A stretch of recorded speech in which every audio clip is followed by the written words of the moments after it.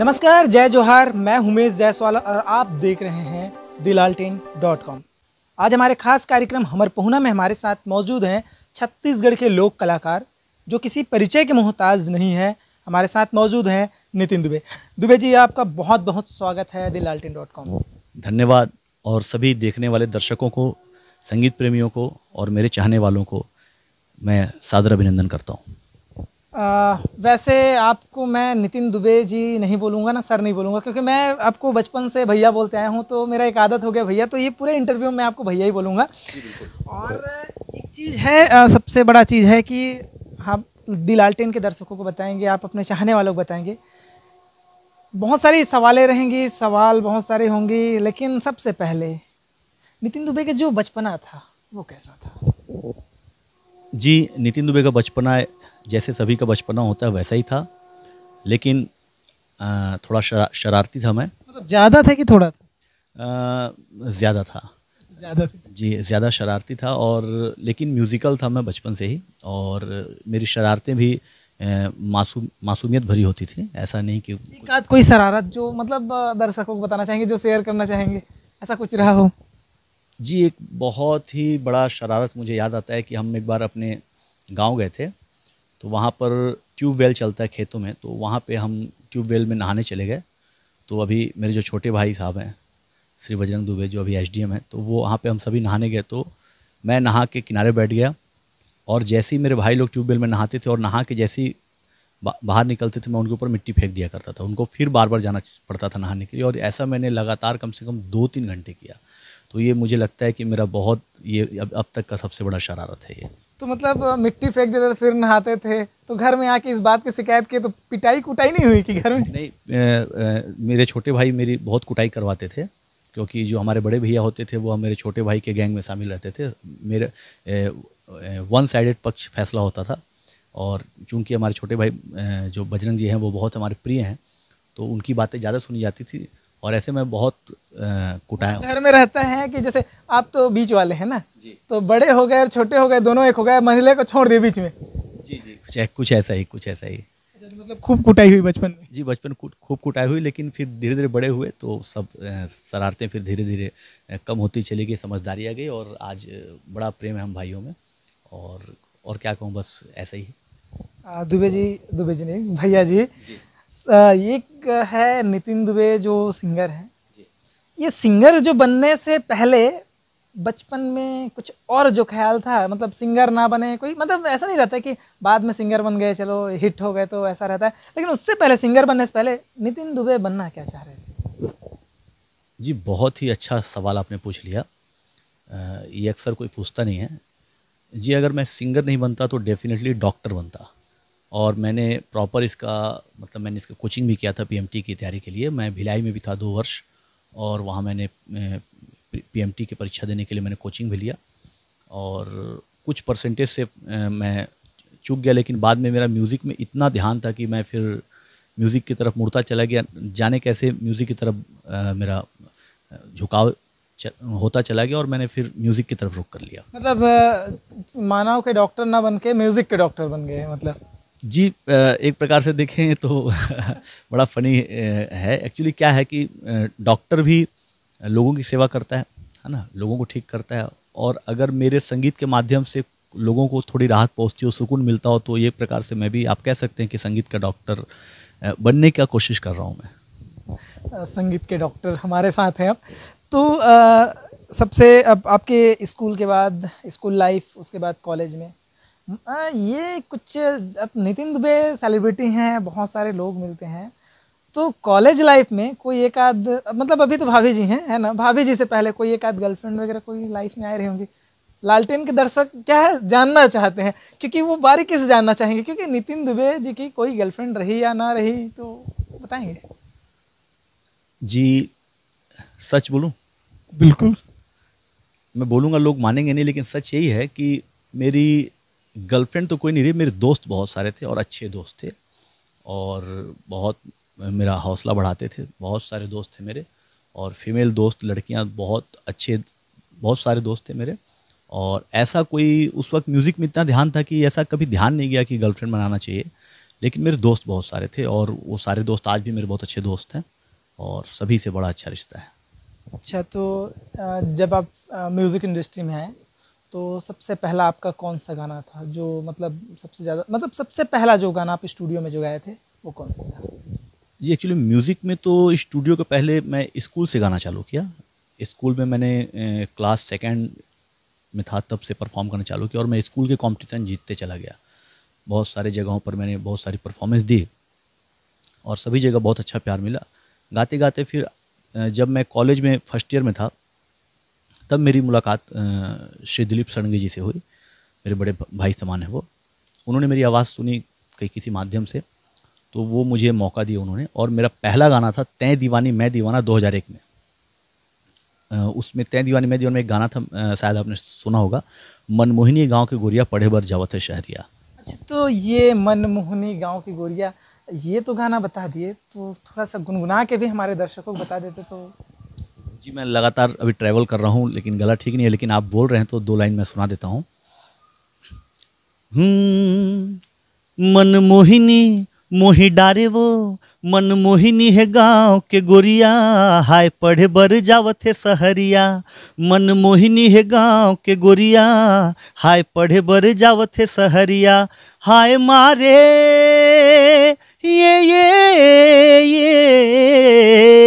हाय मारे हाय मारे तिरछी नज़रिया। मनमोहिनी मोही डारे वो मनमोहिनी है गाँव के गोरिया। हाय पढ़े बर जावत है सहरिया। तो ये गाना तो अगर कहा जाए तो ये अभी हम ऐसे सुन रहे हैं ये पीछे जंगल है। ऐसे जगह में सुन रहे हैं तो स्टूडियो की आवाज़ आ रही है। तो स्टूडियो में तो फिर सुबहान अल्लाह उसका तो कह नहीं सकते है ना? क्योंकि जब रिदम के साथ म्यूज़िक के साथ हो, मैंने ये गाना भी बहुत सुना है और मुझे भी ये गाना बहुत प्यारा, बहुत ज़्यादा पसंद है। ये गाना जब रिलीज़ हुआ तो फिर लोगों में क्या प्रतिक्रिया हुई? फिर लोगों के पास जब गए तो कैसा रहा? ये- गीत के बारे में आपको मैं बताना चाहूँगा। ये गीत जब रिलीज़ हुआ तो ये बड़ा, मैंने एक अलग एल्बम था तय दीवानी मैं दीवाना इसमें मेरे चार गाने थे। जावन दे जावन दे मोला एक का एक मॉडर्न वर्जन था और एक उड़ जा रे मैना था और मोला झा मोला झाव मारे मेरे दोस्त ने गाया था और एक गाना था मनमोहिनी गाँव गोरिया। तो मनमोहिनी गाँव गोरिया जो गीत है वो बहुत समय तक लोगों को ये लगता रहा कि ये गाना विनोद राठौर जी ने गाया है। बहुत दिनों के बाद जब मैं स्टेज में proper Chhattisgarhi shows stage show करना चालू किया तो लोगों को पता चला कि भाई ये तो हमारे छत्तीसगढ़ का सिंगर है। तो बहुत दिन तक लोग यही समझते रहे कि ये विनोद राठौर गाना है और मुझे बता बताना पड़ता था कि नहीं भाई ये मैंने गाया है। तो आ, इनके इस एल्बम के एक राइटर हैं जो अभी मेरी नेक्स्ट मूवी है उसके डायरेक्टर हैं उत्तम तिवारी जी मिस्टर मजनू के डायरेक्टर हैं वो। तो वो मुझे बोले कि हम बहुत समय तक यही समझते थे कि ये विनोद राठौर जी ने गाया है। तो सोचिए कि ऐसा था माहौल। मतलब आवाज़ आपकी थी नाम कोई दूसरा ले लिए थे। जी मैं लेकिन एक प्रकार से मैं इसको कॉम्प्लीमेंट समझता था क्योंकि राठौर जी उस वक्त के बेस्ट गायकों में एक हुआ करते थे और बॉलीवुड का के बहुत बड़े नाम है वो। तो पहले ही गाने से किसी बॉलीवुड लेवल के सिंगर के जैसा भी नहीं यही मान लेना कि वही गाया है तो ये मेरे लिए एक बहुत बड़ा कॉम्प्लीमेंट था। ये तो एक बड़ा ट्रेजेडी हो गया। लेकिन जैसे कि ये आपके फिर गाने लगातार आना चालू हुआ फिर एक जो गाना रहा है सबसे बड़ा हिट हुआ है माँ चंद्रहास ने। कहते हैं कि एक चीज़ सुनने में मिलता है लोगों में बोलते हैं कि नितिन दुबे को माँ चंद्रहासनी का आशीर्वाद है। तो वो कौन सा गाना था? जी मनमोहनी गाँव गुरिया के बाद हमारी गाड़ी चल पड़ी। एल्बम बड़ा हिट हुआ सारे शादियों में सब जगह वो एल्बम बज रहा था।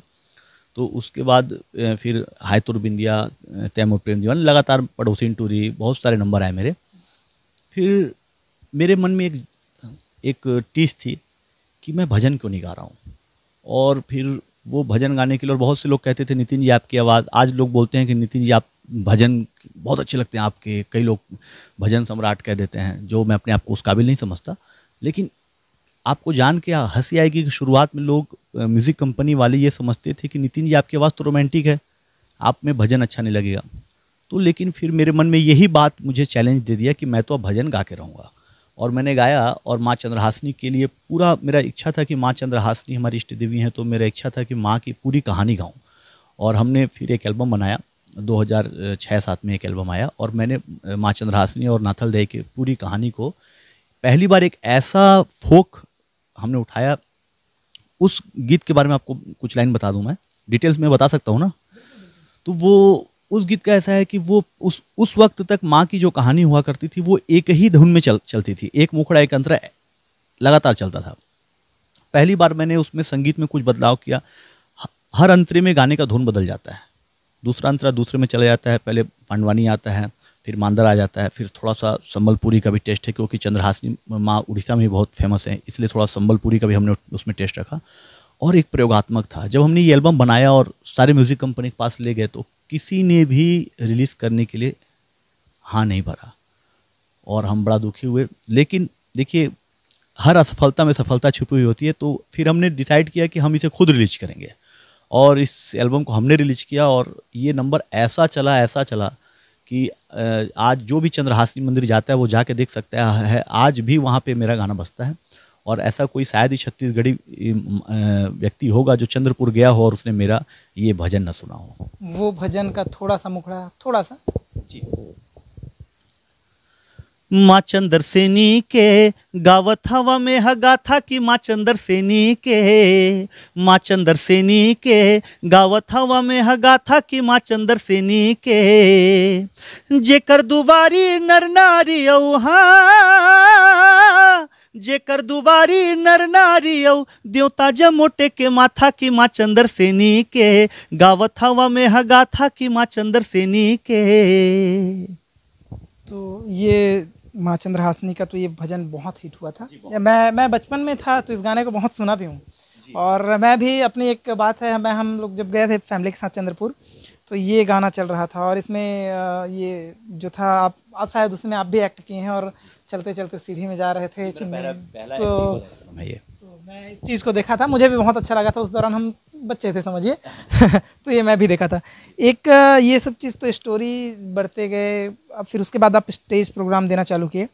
तो स्टेज प्रोग्राम फिर आना कैसे? क्योंकि आपका लगातार हिट एक के बाद एक। मेरे हिसाब से तो आपने कई हज़ारों मतलब स्टेज प्रोग्राम कर लिए होंगे। तो जो स्टेज प्रोग्राम था, वो फिर ऑफ़र कैसे आना चालू हुआ आपको? जी स्टेज प्रोग्राम जो मुझे ऑफ़र आना चालू हुआ, वो ऐसे चालू हुआ कि मैंने बहुत सारे छत्तीसगढ़ी एल्बम में अपनी आवाज़ दे चुका था मैं उस वक्त तक और उसके बाद क्या हुआ कि मैं 2009 में मुझे साईं भजन का गाने का अवसर प्राप्त हुआ।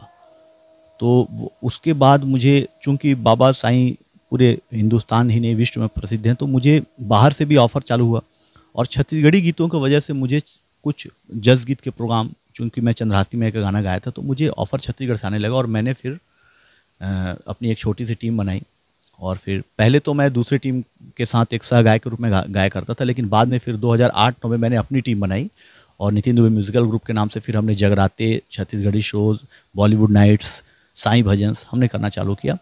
और फिर साई भजन में तो आ, मैं पूरे हिंदुस्तान में लगभग सात आठ राज्यों में मैंने अपने प्रोग्राम दिए।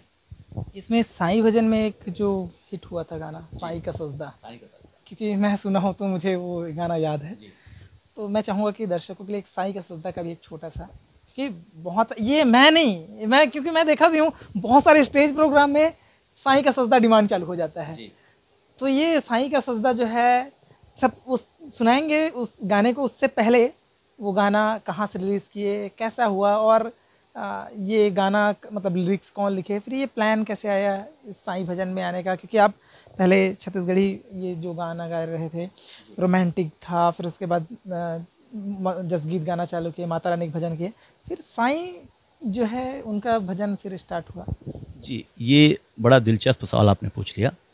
जी, बाबा तो समझ जाइए कि मेरे साथ साईनाथ महाराज का मैं शुरू से भक्त था, बहुत बड़ा भक्त था। 2009 में मेरे भाई समान एक मित्र हैं, बड़े भाई कहूँगा उनसे, मैं हरीश गुप्ता जी, उन्होंने एक एल्बम बनाया, चलो शिरडी धाम तो उस एल्बम के लिए उन्होंने मुझे बोला कि नितिन जी, आप पूरे गाने गाइए। वहाँ से मेरा साईं भजन चालू हो गया। वो एल्बम बड़ा हिट हुआ। लेकिन वो एल्बम तीन चार राज्यों में ही चला, छत्तीसगढ़, मध्य प्रदेश, उड़ीसा में। तो मेरे मन में एक बात थी कि, और जो भी साईं भक्त होते थे, वो सभी कहते थे, नितिन जी, आपकी आवाज़ बॉलीवुड लेवल की है। आपको मुंबई से एल्बम करना चाहिए।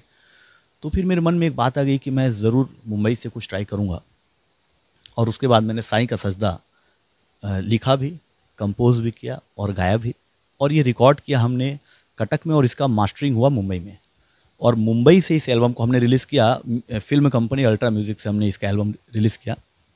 और उसके बाद ये मतलब क्या कहूँ कहूँ कि मुझे लगता है कि साईं का सजदा जैसा गीत पचास सौ साल में एक बार बनता है, ऐसा ये भजन है। मेरे दिल के बहुत करीब है। तो ये आपके दिल के करीब है, दर्शकों के दिल के करीब है, लालटेन के दर्शक भी चाहेंगे कि वो उसका थोड़ा सा मुखा जी, ज़रूर।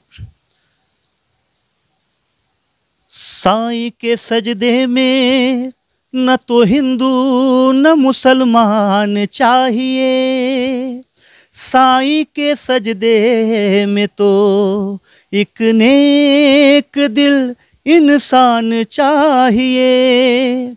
सजदा सजदा सजदा साई का सजदा सजदा सजदा सजदा साई का सजदा।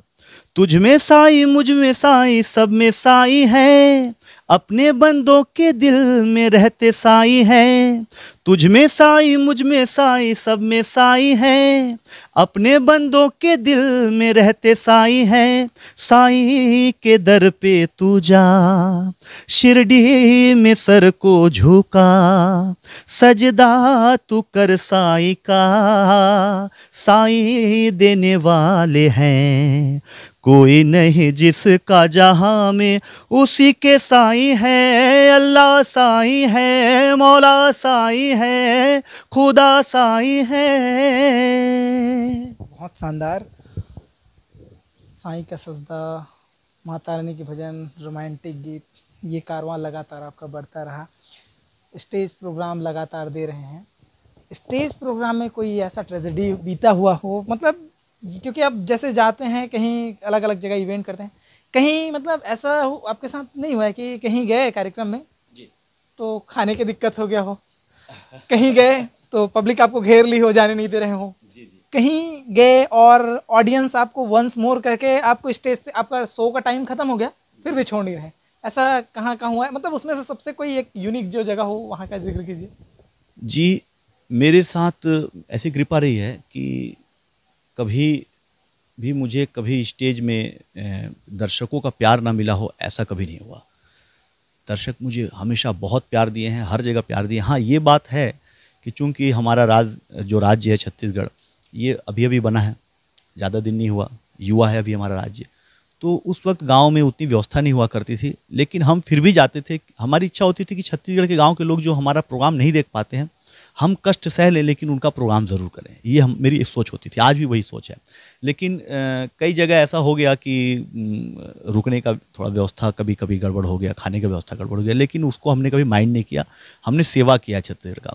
और जो आप बोल रहे हैं कि कभी ऐसा हुआ हो तो जी, ऐसा तो लगभग लगभग मेरे हर प्रोग्राम में हुआ है कि प्रोग्राम की टाइम ख़त्म हो गई हो और ऑडियंस बोल रही कि वंस मोर वंस मोर करके। तो ये अच्छा एक चीज़ मेरे, मुझे याद आ गए तो वो मैं आपको बताऊँ। कि एक बार ऐसा हुआ था कि आ, माल खरोदा के पास एक छपूरा एक गाँव है। वो घटना मुझे अच्छे से याद है वो मैं आपको बताना चाहूँगा। उस वक्त हमारा हायतुल बिंदिया वगैरह एल्बम आ गया था तो उस वक्त हम लोग दो तीन मित्र मिलके हमें ग्रुप चलाते थे न्यू जनरेशन नाइट। तो वहाँ हमारा दशहरे का प्रोग्राम था। हमारी पूरी टीम वहाँ पहुँच गई और वहाँ पर हमारा साउंड नहीं पहुँचा। पूरी पब्लिक खड़ी थी अब सारे जो ऑर्गेनाइजर थे हम लोग को घेर लिए और बोले हम तो जाने नहीं देंगे आपको प्रोग्राम करना पड़ेगा। लेकिन बिना साउंड के प्रोग्राम हो कैसे? हमने बोला भैया साउंड नहीं है तो आप करके ही जाएँगे। तो उसके बाद आप सुनेंगे तो आपको हँसी आएगा कि हमारे म्यूजिशियंस को उन लोगों ने बतौर आप बंधक बोल सकते हैं उन्हें रख लिया कि जाइए आप लोग साउंड लेके आइए और प्रोग्राम करना पड़ेगा। तो हमने उस दिन पोस्टपोन कर दिया और अगले दिन मैं और मेरे मित्र जा करके कोरबा से हम साउंड लेकर के आए और तब तक हमारे म्यूजिशियन वहाँ बंधक थे। और उसके बाद वहाँ प्रोग्राम हुआ। प्रोग्राम बहुत सुपर डुपर हिट हुआ और तो बड़ा अच्छा लगा वो, वहाँ पे लोगों को बड़ा प्यार मिला। लेकिन ये यादगार था कि दशहरे के दिन साउंड ही ना पहुँचे और प्रोग्राम ही ना हो। तो ये बड़ा यादगार प्रोग्राम था मेरा। मतलब बंधक कह सकते हैं या प्यार का बंधन भी इसको बोल सकते हैं। वो, वो प्यार का बंधन था। प्यार का बंधन इसलिए था कि वो किसी भी हम उनका पैसा रिटर्न करने के भी तैयार थे कि भाई आप अपना पैसा रिटर्न ले लीजिए लेकिन बोले नहीं हमें पैसा नहीं चाहिए हमें तो गाना सुनना है। और आपको ये मतलब प्रोग्राम करना ही पड़ेगा। तो फिर हमने बोला भाई आज तो आया नहीं अब क्या करें? तब हमने अगले दिन जा करके साउंड ला करके और वहाँ प्रोग्राम किया। तो ये प्यार का बंधन था ये। नितिन दुबे का लगातार कार्यक्रम चलता रहा कारवा बढ़ता गया। नितिन दुबे फेसबुक में हिट हो गए सोशल मीडिया में हिट हो गए यूट्यूब में हिट हो गए। हर मैंने सुना है कि आपका यूट्यूब जो है चैनल है उसमें एक लाख से अधिक सब्सक्राइबर हो चुके हैं। वीडियो का व्यू है मिलियन में जा रहा है। तो थोड़ा सा मैं ये पूछूँगा कि यूट्यूब से पैसा आना चालू हुआ कि नहीं हुआ? ये तो आपने अंदर की बात पूछ ली और एक्चुअली सभी ये जानना चाहते हैं बहुत से लोग मुझसे पूछते भी हैं कि नितिन भी आप यूट्यूब से कितना कमाते हैं, क्या कमाते हैं? तो अब ये कितना कमाता हूँ ये तो नहीं बताऊँगा, लेकिन कुछ आ जाता है। और इतना आ जाता है कि कलाकार का वीडियो का जो फाइनेंस है वो निकल जाता है। और रही बात, मैं जो यूट्यूब से कमा रहा हूँ, वो लोगों का प्यार है। मैं चाहता हूँ कि हमारे छत्तीसगढ़ में भी किसी सिंगर का, मैं यहाँ के छत्तीसगढ़ी आर्टिस्ट का ऐसा यूट्यूब चैनल हो जिससे हम फ़क्र से कह सकें कि भाई ये हमारे सिंगर इनका ये यूट्यूब चैनल है। तो अब मैं अपने यूट्यूब चैनल के माध्यम से हर प्रकार का गीत देने का कोशिश कर रहा हूँ। आने वाले समय में मैं आपके इस लालटेन जो चैनल है, इसके माध्यम से यही कहना चाहूँगा कि मैं सिर्फ़ अपने गाने ही नहीं, आने वाले समय में न्यू कमर्स के लिए भी अपने चैनल पे मैं प्लेटफॉर्म खड़ा करूँगा। और मैं जो, जिन्हें मौका नहीं मिल रहा है, उन्हें मैं अपने पैसे से गाने रिकॉर्ड करके उन्हें चांस दूँगा मैं। अच्छा यूट्यूब चैनल से याद आ गया। लालटेन जो है अभी जलना शुरू हुआ है। जी। है ना? और आ, सबसे अच्छी बात है कि हमारे हमर पहुना जो कार्यक्रम है उसके सबसे पहले गेस्ट जो आप हैं जो हमारे लिए ऐतिहासिक है। तो लालटेन आप लालटेन की वीडियो वगैरह देखते हैं या फिर फेसबुक से?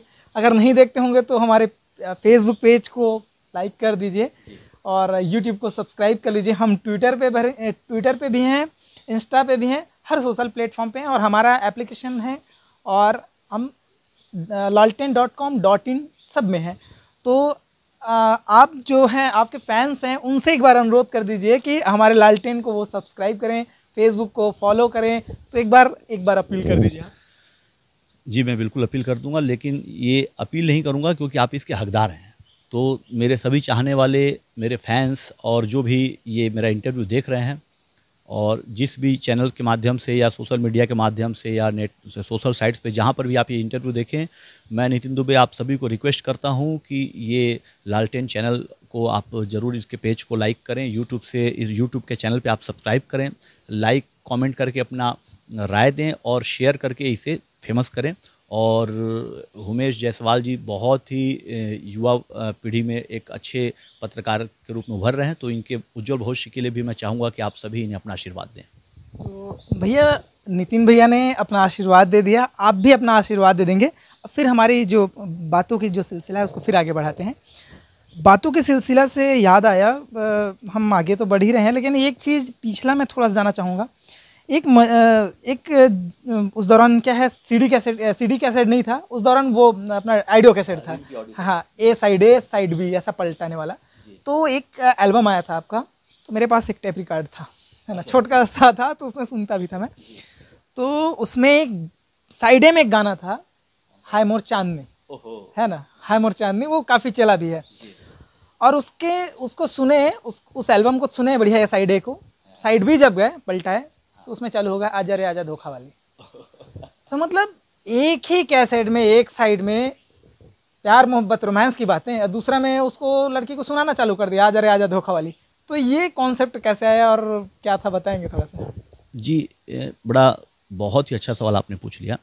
हाय मुरचांदी, जब हमने एल्बम बनाया था ऑडियो कैसेट के वक्त में तो उस वक्त हम साइड ए में तो रोमांटिक गाना डाले थे। साइड बी जो आजा धोखा वाली गाना था, वो गाना इसलिए था क्योंकि पहले मैं आपको चांदनी के बारे में बता दूँ, हाय मोर चांदनी के बारे में आपने पूछ लिया, रोमांटिक गाना।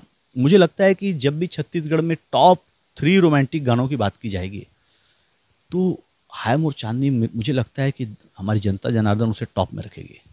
मुझे ऐसा लगता है, इसलिए नहीं कि मैंने गाया है। उस वक्त तक ऐसा रोमांटिक सॉन्ग कभी आया नहीं था और हमने एक ट्रेंड सेट किया है इस गाने से। इस गाने का धुन, इस गाने का म्यूज़िक इस गाने का लिरिक्स आज भी ऐसा गाना सौ साल डेढ़ सौ साल में एक बार बनता है और यूथ पीढ़ियाँ बदलती जाएँगी लेकिन ये गाना रहेगा। तो ये गाना बन गया इसलिए बन गया क्योंकि उस वक्त हम भी टीनेज थे और हम भी बैचलर थे और हम हमारे अंदर भी बड़ा मोहब्बत कूट कूट के भरा हुआ था। इसके लिए? आ, हाँ, संगीत के लिए। जो आप जानना चाह रहे हैं वो उत्तर मैं नहीं दूँगा। तो संगीत मतलब भाभी घर में जाकर कूटेंगे ऐसा थोड़ी है? नहीं ऐसा नहीं है। आप बहुत सपोर्ट है घर में।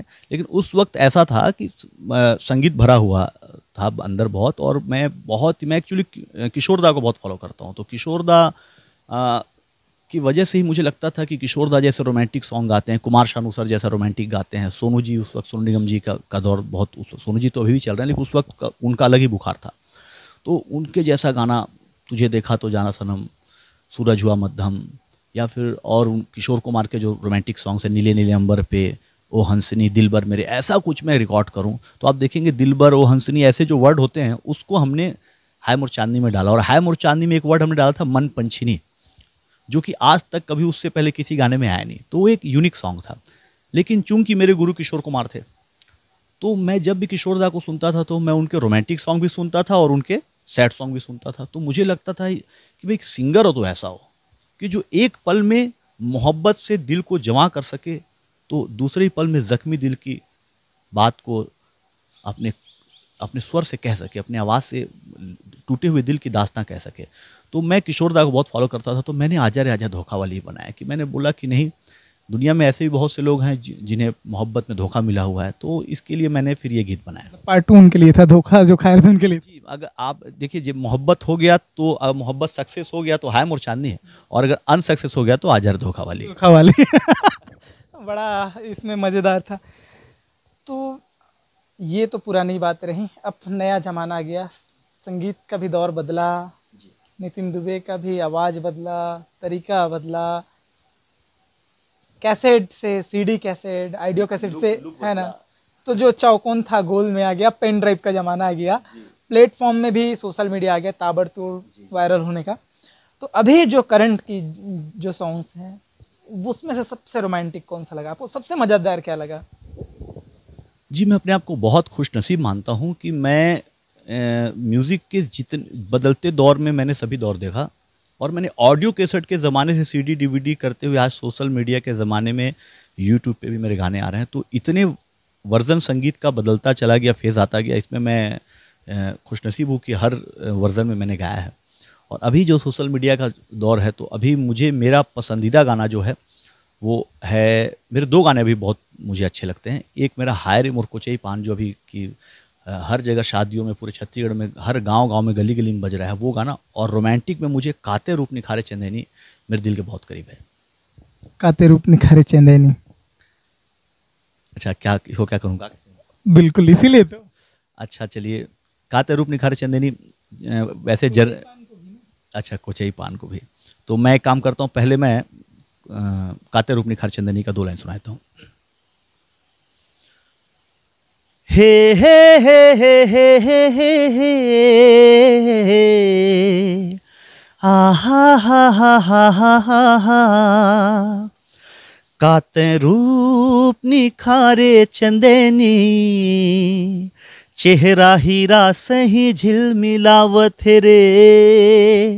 काते रूप निखारे चंदेनी, चेहरा हीरा सही झिल मिलावत रे, चंदा सही जगमगावत रे। जोन गली निकले रात रानी, केतकी केवड़ा सही मह महावत रे। मुंगरा सही मह महावत प्रेम नगर के राजकुमारी तोर होठ पूजा के थारी तोर खुशबू मा मन गुदगुदावत है रे गुदगुदावत है।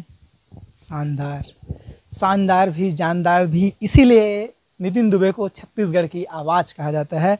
छत्तीसगढ़ के सोनू निगम भी कहा जाता है। उनके फैंस उनको अलग अलग नाम से बोलते हैं। इसी बीच में एक दूसरा भी देंगे हायर मोर को चाहिए उसको भी थोड़ा सा दो लाइन सुना दीजिए। जी। हम्म हाय रे हाय रे हाय रे हाय रे हाय रे हाय रे ए गोरी हाय रे हाय रे हाय रे मोर को चई पान तोर बर मन चुमो चुमो लागे हाय रे हाय रे मोर कलेरा नार तोर बर मोला मया मया लागे तोर बर मन चुमो चुमो लागे लागे। तोर बर मोला मया मया लागे। हाय रे हाय रे मोर से मीनार, तोर बर मन चुमो चुमो लागे। बहुत बहुत तारीफ़ जितने भी की जाए, वो कम है। ये जो जितने भी, क्योंकि ये जो गाना है ना, आपका कहता है, रूप निखारी चंदनी एक है गोरी जब लहरे तुर चुनरिया और ये जो कोचाई पान ये ना मेरी गाड़ी में मैं खुद सुनते सुनते जाता हूँ। बाकी की बात तो छोड़ ही दीजिए। साई का सजदा सुबह आज ही मैं रायपुर से रिटर्न आ रहा था तो यही गाना सुनते आया। तो इस तरीके से जो गाने हैं वो तो हम पसंद कर रहे हैं पब्लिक पसंद कर रहे हैं और लगातार आपको आशीर्वाद भी मिल रहा है लगातार आगे बढ़ रहे हैं। लेकिन इन सब के बीच में अभी छत्तीसगढ़ में नए नए जो सिंगर आ रहे हैं उनको क्या संदेश देना चाहेंगे? क्योंकि छत्तीसगढ़ में जो संगीत के स्तर भी काफ़ी नए नए अच्छे अच्छे कलाकार भी आ रहे हैं। तो आपके जो जूनियर हैं, जो नए कलाकार आ रहे हैं, जो नए गायक आ रहे हैं, उनको आप क्या संदेश देना चाहेंगे? जी, कला के के क्षेत्र में हमारा छत्तीसगढ़ शुरू से ही कला का धनी रहा है।